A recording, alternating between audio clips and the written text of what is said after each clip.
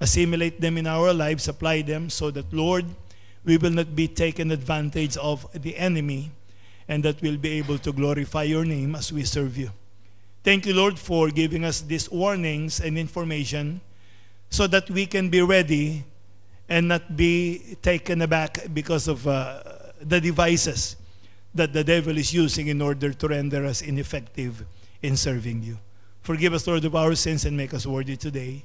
In Jesus' name I pray. Amen. So we've studied last time disappointment as one of the tools of the devil, and then that disappointment leads to discouragement, and that discouragement leads to despair, and then we studied doubt. And this is the first tactic that he used in the Garden of Eden. And then doubt will graduate to disbelief or unbelief. That once you doubted, there is a possibility that you may not believe anymore. And then we also discussed destruction. Because Satan knew that he cannot do anything about our salvation. Our salvation is secured in the Lord Jesus Christ. We are eternally saved. The Bible say, says that the Lord save us unto the uttermost, so that the devil knew, because he also knew the Word of God, that he cannot do anything about it but to distract us so that our eyes will not be focused on the Lord Jesus Christ and we will be looking at several things. And once we do that, then we cannot really be effective in serving the Lord. So when destruction comes, it will lead to number seven, double mindedness. Double mindedness. A double minded man is what we call in Greek as the double souled, meaning to say, you have no, uh, no focus in what you are doing. As I have said, you are constantly being distracted. The Bible says a double minded person is unstable in all his ways. And we know that if you are not stable, then you are not grounded on anything. You are a person that are being tossed to and pro by every wind of doctrine. You are being distracted by almost everything that is coming your way. And if you are double-minded, then you cannot really, thank you, you cannot really uh, serve God and glorify God in your life. Let us look at uh, Matthew, uh, James chapter 1, verse number 8, and then James chapter 4, verse number 8. A double-minded man is unstable in all his ways, not only some of his ways, but all of his ways. Look at uh, chapter 4, verse 8. Draw nigh to God, and he will draw nigh to you.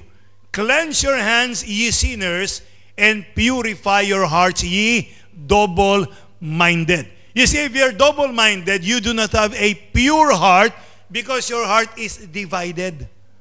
Naalala niyo ba yung awit sa Pilipinas, sana dalawa ang puso ko. Di ba? Yung uh, sabi niya, hindi na sana kailangan pang pumili sa inyo. So we know uh, how it is hard to be a double-minded or torn between two lovers. And when you're like that, you are, you feel like a fool because of your double-mindedness. Uh, Sister Lily is uh, uh, smiling because uh, she can relate to what I'm trying to say. Because at one time, she was torn between two lovers, but Brother Rilson is the be- better of the two. Amen? Ah, Brother Rilson. Amen, amen. Ah, agree ka. Para hindi tayo masyadong nahihirapan. So, there is no purity of heart when there is double-mindedness. So we need to understand that God wanted us to be single-minded. Actually, in a verse in Matthew, He said that we should have a single eye. I'm not saying only one eye, but when we say single eye, it means that we are focused on what we are doing. Because try to do things that you are distracted, you cannot uh, make that thing uh, better or good uh, as you are doing it. So in Matthew chapter 6, verse 24, let's look at it, please. This is what the Bible says. Matthew 6, 24. No man can serve two masters. You need to serve only one master. You do not have to be divided between two masters. You cannot be divided between God and the world. You cannot be divided between God and the devil. If you're going to serve, you need to serve only one master so that you can become better in serving him. Because what's the, re- the rationale of the Bible? You cannot serve two masters, for either he will hate the one and love the other. So you cannot be both faithful to two masters. You're going to be leaning towards one, and then you're going to be unfair towards another. And the Bible says, or else he will hold to the one and despise the other. Ye cannot serve God and mammon. Mammon pertains to anything that is being offered by the word or in the word, or sometimes it can specifically mean uh, money. So you cannot serve God and mammon. There must be single mindedness when we are serving God. Look at Ephesians chapter 4 and verse number 14. Ephesians 4:14. The Bible says that we henceforth be no more children. You know, the characteristics of children is that they are double-minded. You will notice if you will give them a toy and there is another toy, they're going to really take a hard look and would not know how to decide. So that is the characteristic of a child or children or a carnal Christian, tossed to and fro and carried away with every wind of doctrine by the sleight of men. They are looking at the ability of men. They are looking at the skill, skills of men. And when they hear somebody who is a eloquent, better looking, and etc., etc., they are going to easily be persuaded even though what they are teaching or telling is not according to the word of man, uh, the word of God.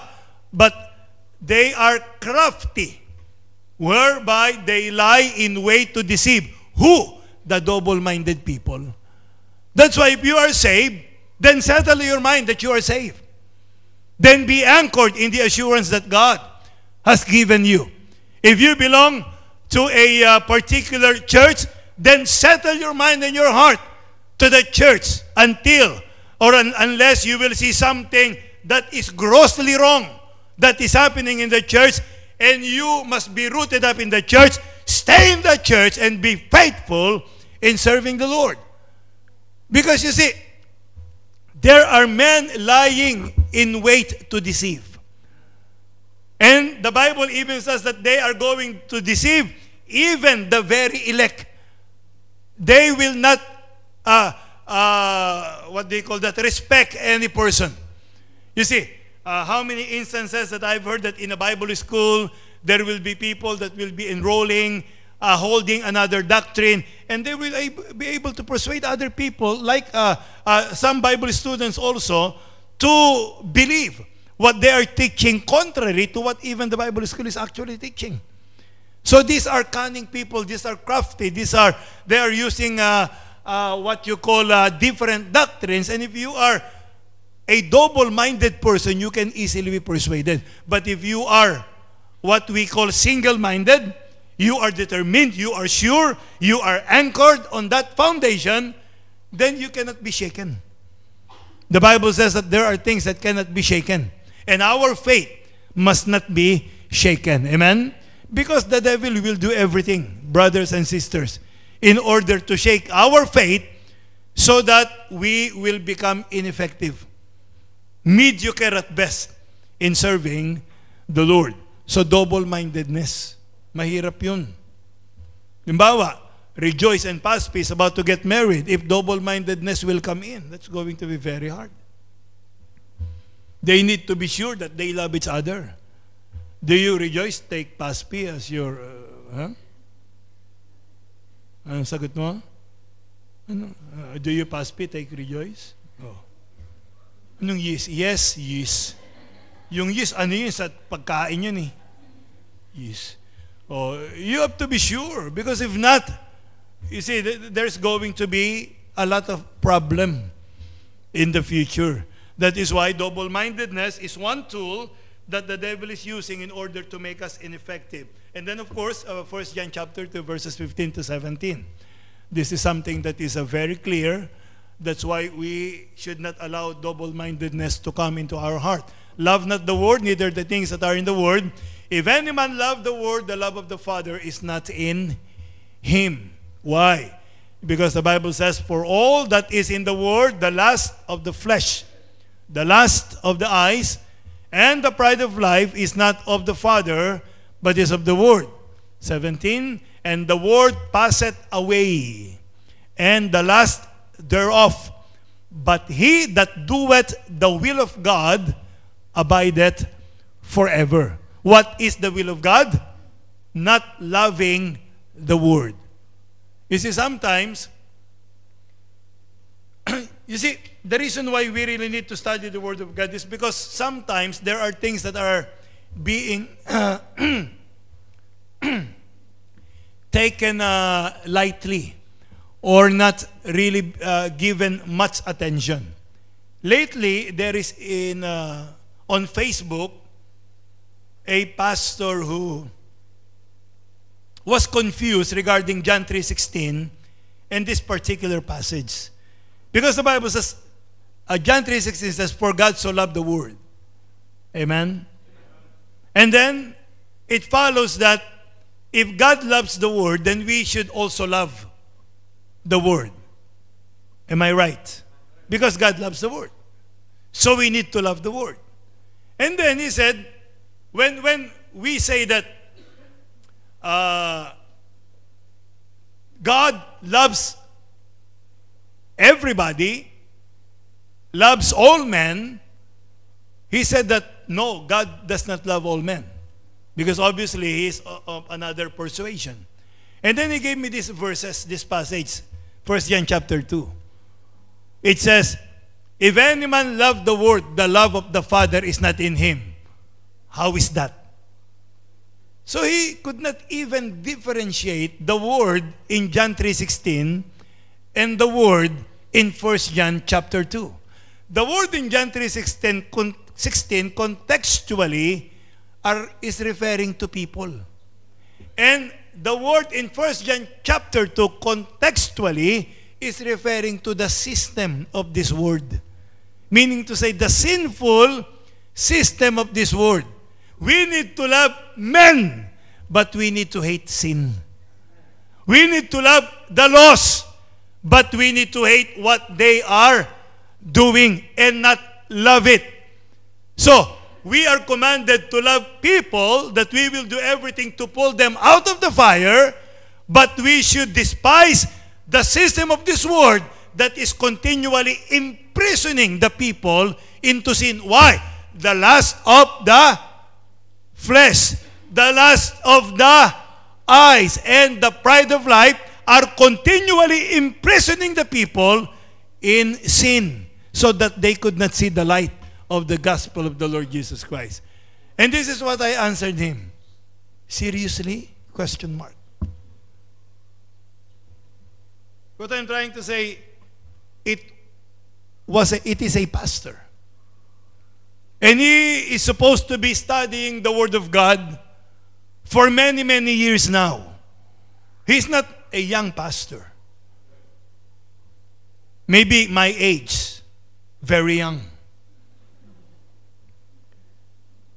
But in those years of studying the Word of God, he could not even differentiate people from the system.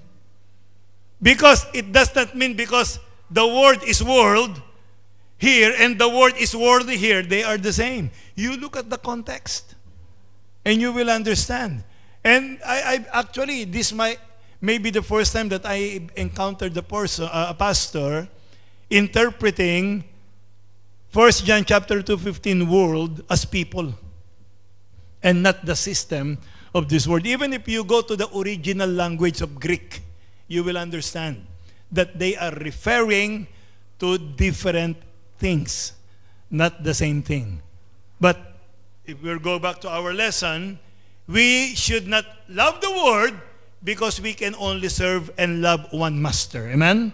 And that is God, the Lord Jesus Christ. And then after that, Number eight is dishonesty. Dishonesty. That is the eighth tool that the devil is. The, the, these are not in order. Huh? These are uh, tools uh, I'm giving in general that the devil is using in order to make us ineffective in serving the Lord.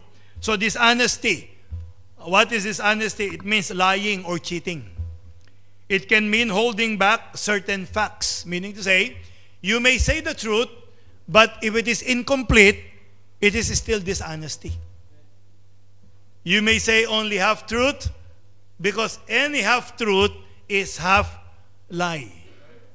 And any half lie is maybe all lies, a half truth. So by holding back certain facts, it is uh, it constitutes dishonesty, and this is what we need to understand: being less than we should be as pastors, or a husband, or a father, or a mother, or a wife, or a teacher, or a student, or a worker, or whatever you are, is uh, what we call dishonesty. Because in everything that we do, we need to give our best. Anything less than your best is dishonesty. If you're a teacher, you're not teaching your best, you're being dishonest to your students. If you're a pastor and you're not giving your best to the people, you're being dishonest to the people.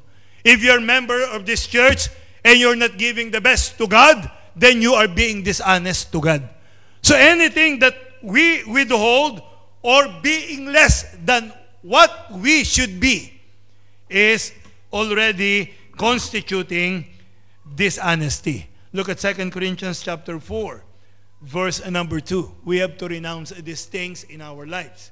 The Bible says, But we have renounced the hidden things of dishonesty. You see? That's why it says hidden. Because being dishonest is hiding, withholding, not giving all, or withholding something from people that we should be giving them or actually uh, telling them.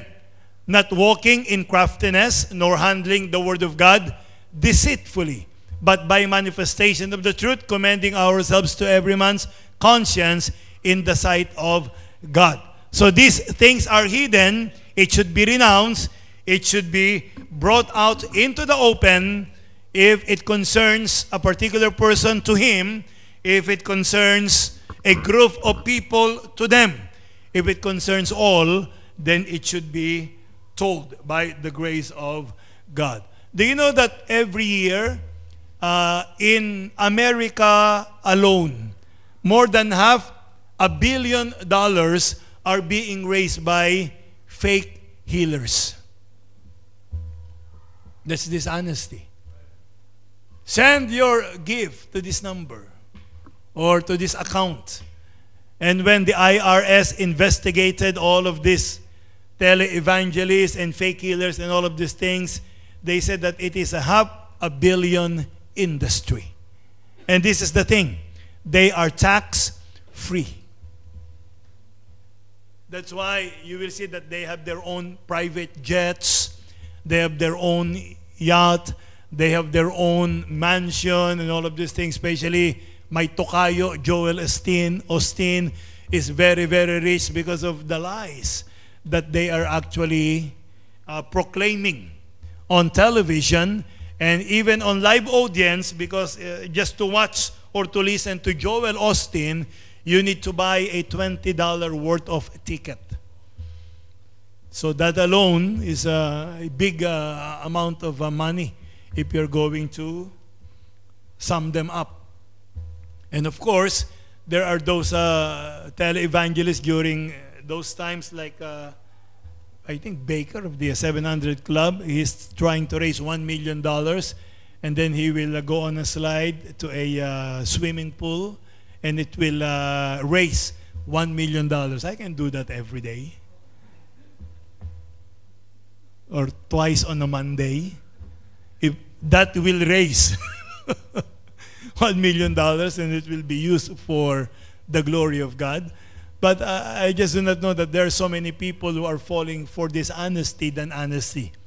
When you preach the truth, you will not be able to fill a church.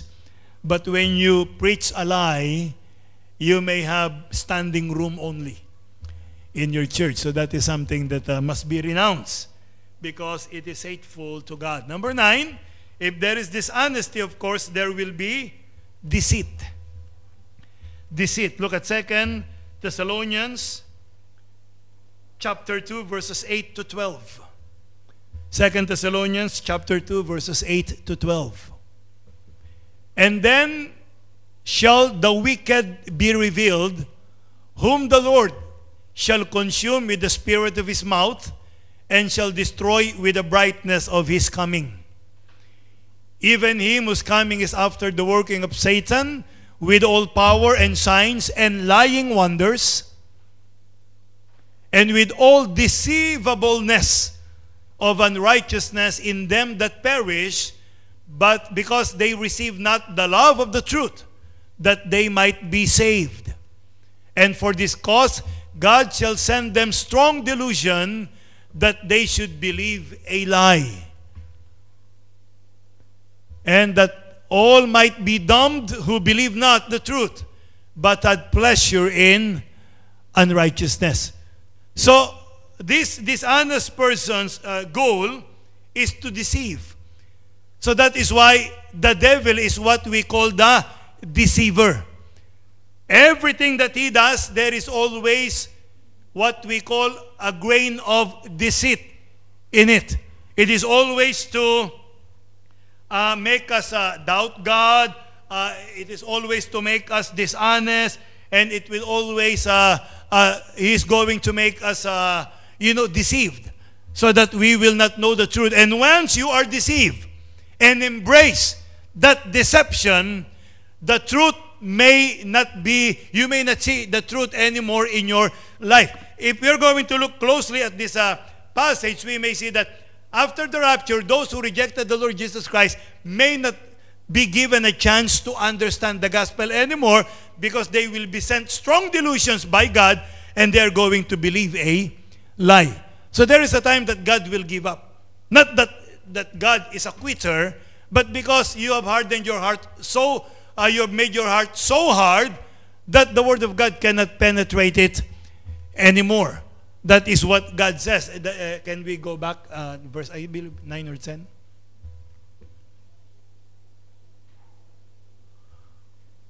Uh, 10.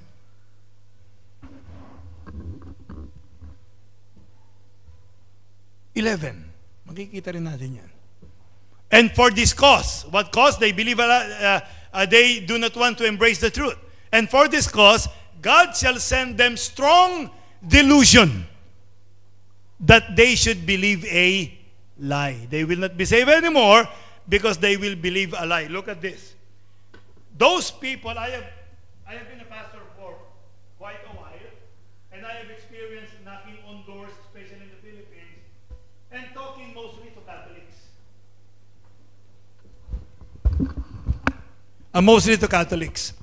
Those who have experienced what they say miracles. Those who experience what they say miraculous healing. And those who claim that they saw a statue crying, blood, and all of these things, these are the people that are very, very hard to win to the Lord. Why? Because they cling to their experience and they are making their experience as their final authority. And that is a strong delusion. Why? Because they embrace the lie instead of the truth. So no matter what you tell them, they're not going to believe you because they will say, No, I experienced this. I saw this. I heard this. And you do not know anything about it because you did not experience this. If you are on my shoes, you will do the same thing that I am doing now. That is why it is very, uh, very uh, hard when you are deceived. One thing, one characteristic of a deceived person is that they do not know that they are deceived. They are fully convinced that they are not deceived. Like, for example, if you're playing cards and you're cheating, and the other person is being cheated, I guarantee you he doesn't know that he was being cheated. You are the one who know that you are cheating him. And that is the same thing with deceit. You are deceiving them, they will believe you, and they do not even know that they are being deceived. And that is what the devil is using. Eve did not know that he was being deceived by the devil, but because he bit into it, so we know the result. They plunged humankind into sinfulness because of that. Deceit. Look at the Second Corinthians chapter 4, verses 1 and 2.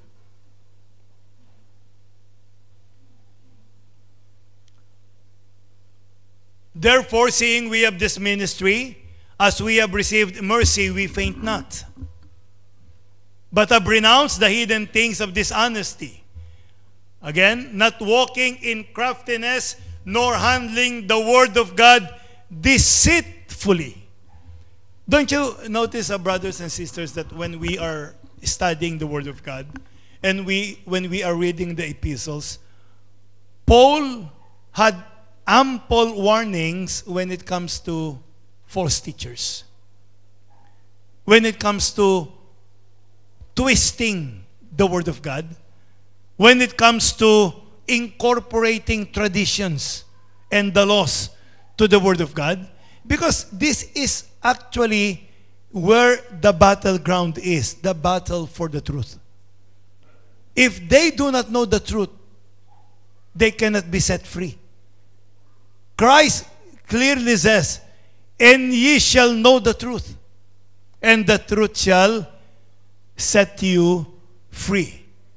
He says, Ye do err, not knowing the scriptures. That is the reason why contending for the faith and teaching things according to the scriptures are very, very important. Because this is what many, many pulpits should address every Sunday. I'm not against inspiration. I'm not against encouragement. I want to encourage you. I am not against most of these things, but I am against preachers who do not try to explain the truth and to warn people that there are false teachers and deceivers out there in the world in order to deceive the people of God. I am against that. And the reason why they're not teaching it is because they are afraid that they will be judged as judgmental and haters and cruel people. While the Apostle Paul almost always warned them regarding these things. He says, nor handling the word of God deceitfully. You can use the word of God to deceive people. And so many people are using the Bible in deceiving people. Do you know why it is effective? Because it is the word of God. And when you see people holding a Bible, there is an intrinsic respect that we feel for them. Di ba? When we were Catholics, pag nakakita ka ng pare, talagang uh, mano ka agad o kikis mo yung yung singsing niya. Tapos pag nakakita ka pa, ganun ka pag lala, hindi ka man halos makatingin sa kanya. Yun ang naimulat sa atin eh. So, the same thing when, when we see people holding a Bible, there is a, what we call that respect for them. But the thing is this, are they handling the Word of God deceitfully? And sad thing, the sad thing is that so many people are doing that right now. Even those who should be proclaiming the truth are handling the word of God deceitfully. Why will you teach something that you cannot even defend? You cannot de- even defend it. Why teach it in the first place? Hmm. We, we experience that. We ask so many people regarding first verse, they cannot defend it. They use only one, uh, two verses. What's that? Proverbs 3, 9 and 10. They cannot use any other verse anymore. They cannot use a verse in the New Testament because it's not there. Those that are forbidding their, their member to transfer membership when they move to another place. We showed them that there are several people here, including the Apostle Paul, who transferred his membership at least twice. from Damascus to Jerusalem and Jerusalem to Antioch. And we show two or three other people who did the same. But they will say, no, but we are a family. We are a local church. This is what we teach. Yes, teach it in your local church, but don't teach it outside. Because when you teach it outside of your local church, you are entering into our realm.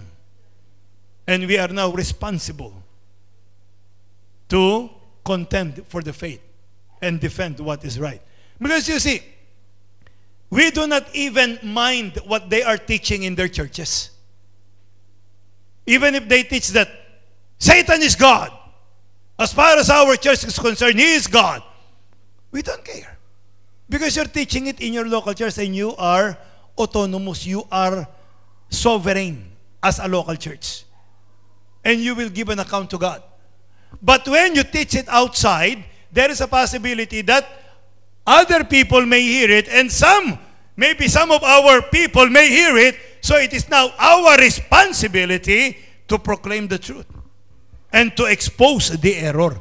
That is what the Apostle Paul is always saying. Be, because deceit is rampant. Second John chapter 1 verse 9. Even, the, uh, even uh, John said this. Second John 1 7, I'm sorry. Second John 1 7.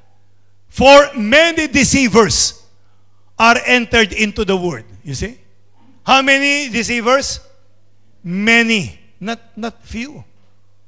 For many deceivers are entered into the world who confess not that Jesus Christ is come into flesh. This is a deceiver and an antichrist.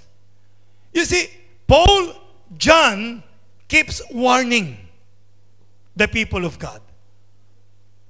But now, when you do this in the pulpit, oh, they will say, You are cruel, you are a hater.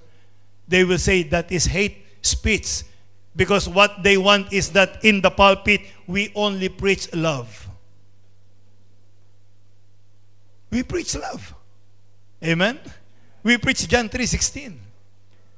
We preach love.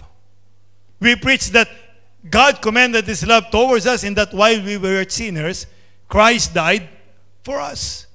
We preach love in this pulpit, but we also preach judgment. And we expose errors. And we teach the whole counsel of God. Because Paul says that I am not chargeable unto you because I taught you the whole counsel of God. And that is what we need. But, Pastor, I've noticed that we are leaning towards these things because this is the battle of the day. This is what is happening right now. Contemporary issues in Christian, in, in the Christian world. And these are the, don't you know that every time there is an election year, what is the, uh, uh, the topic that is uh, being discussed the most? Politics. Am I right? When it's November going to December, what are the things that we discuss the most? Christmas. That's natural because this is the prevailing atmosphere on a particular time. And that is what, how, what is happening in our time now. You see, sometimes my heart is bleeding or just crying, not yet bleeding. Because there are people that are being uh, discouraged out of measure because of people who should be encouraging them.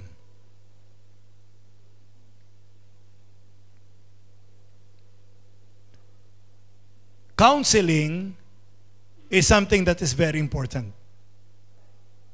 The Bible says the pastor must be up to teach. What does it mean? It means that capable in teaching.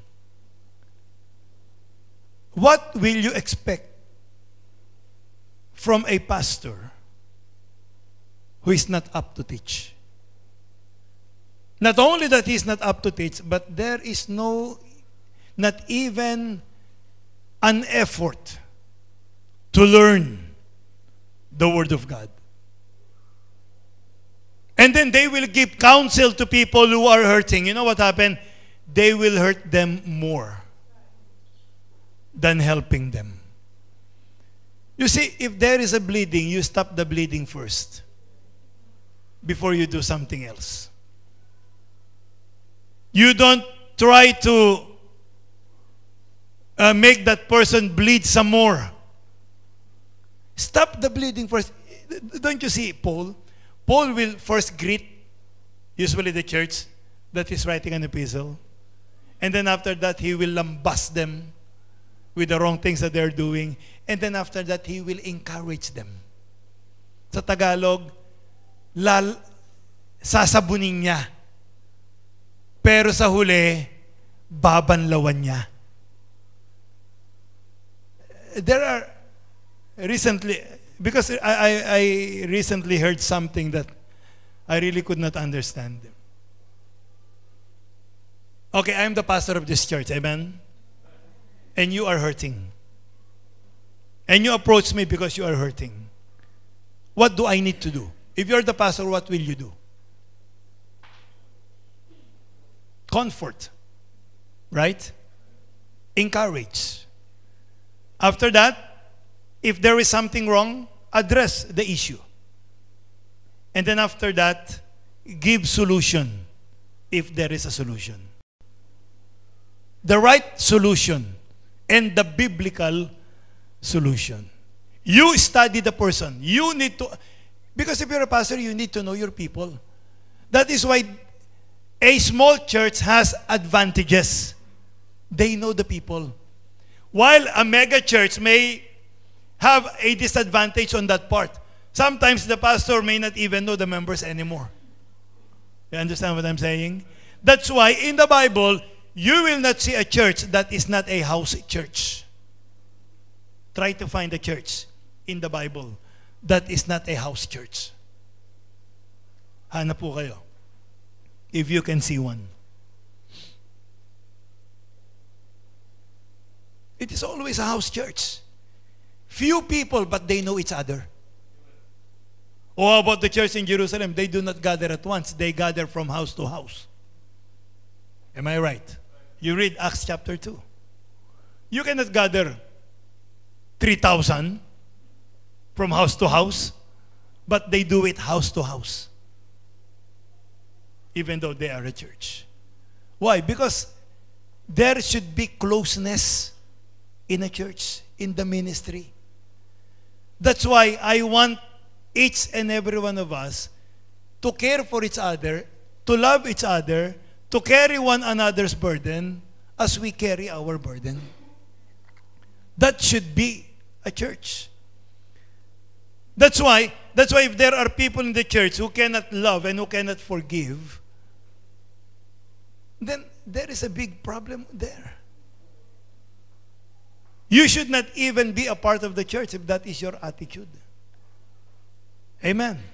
What do I have do I have the right to hate somebody here? You answer me that question. Do I have a right to hate somebody in this church? No, I do not have that right. Do you have the right to hate a brother or a sister? Do you know why? Because you can always talk to a brother or a sister and settle the issue. So why settle for hate when you can settle the issue? Why linger if you can get out of it immediately by the grace of God? I do not know, but I, am speaking uh, from a personal preference and experience. I do not want to stay in a feeling of like you're uh, a sad feeling, an uncomfortable feeling.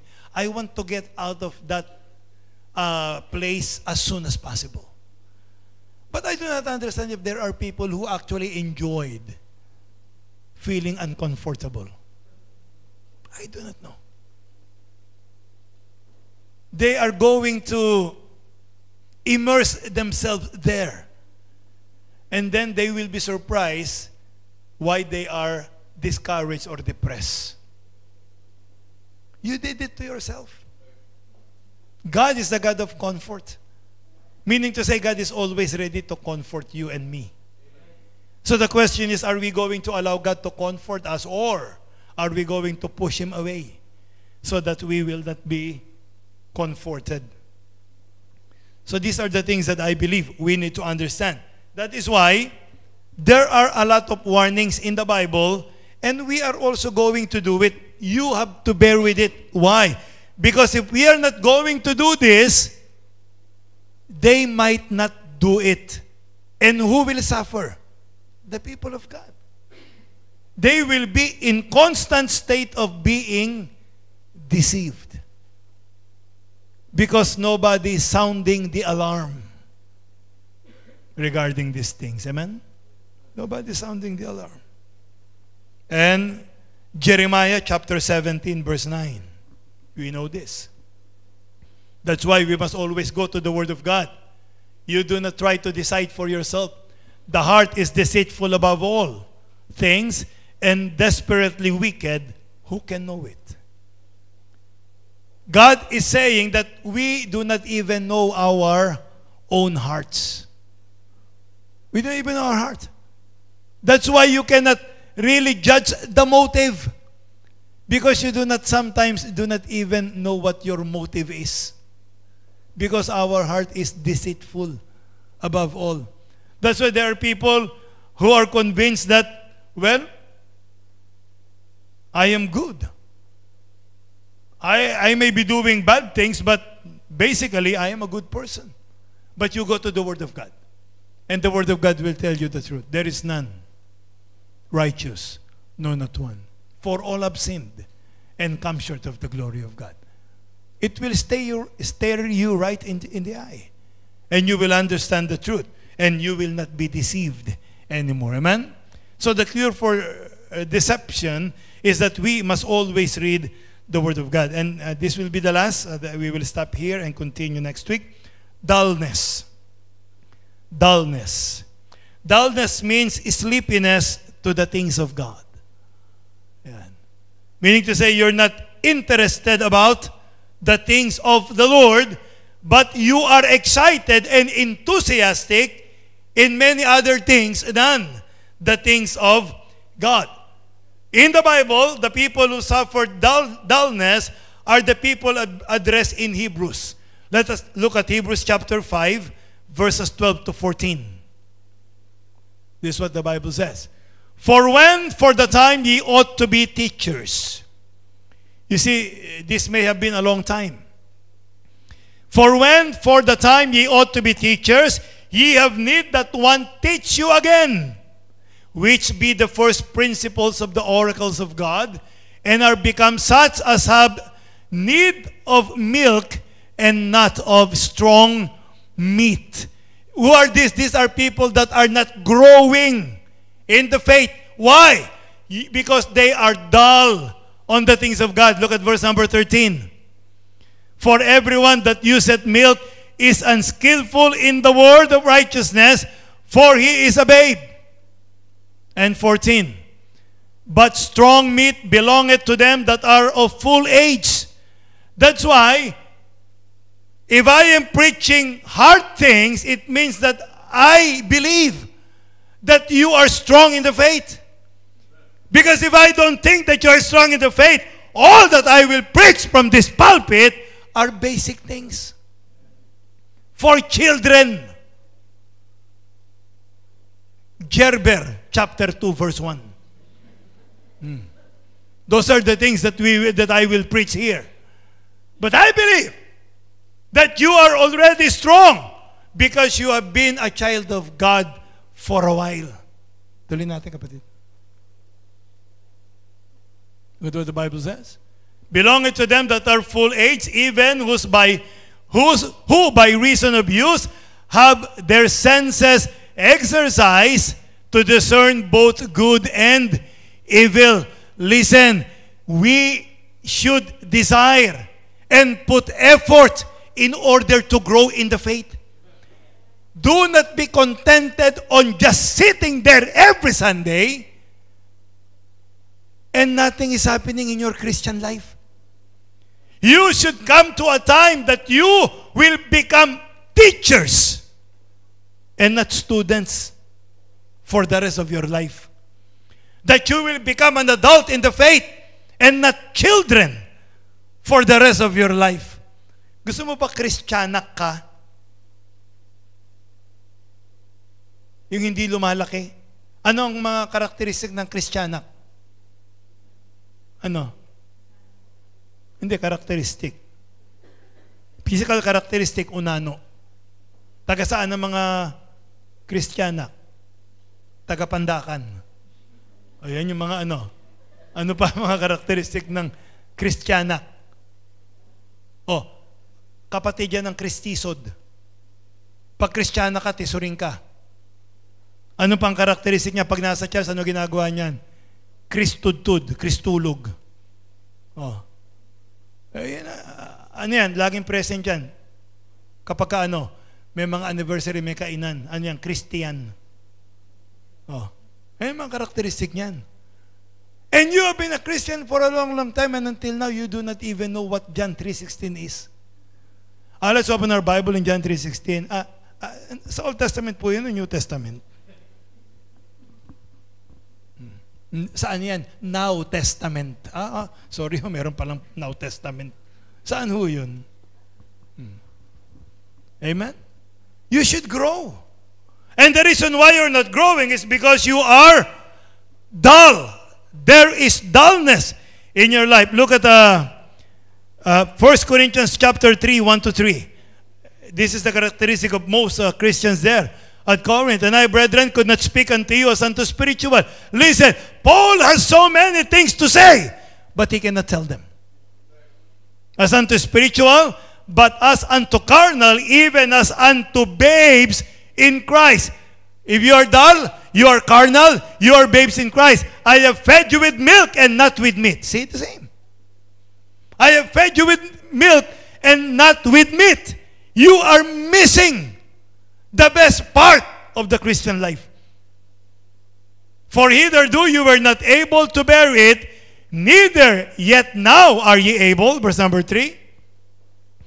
For ye are yet carnal, for whereas there is among you envying, hmm, ikaw ba'y inggitero pa hanggang ngayon? Oh. Carnal ka. And strife and divisions, are ye not carnal, and walk as men? See? Anong walk as men? Like natural men. It is like you are an unbeliever even though you are already a believer. And this is what is happening. Look at Hebrews 5.11.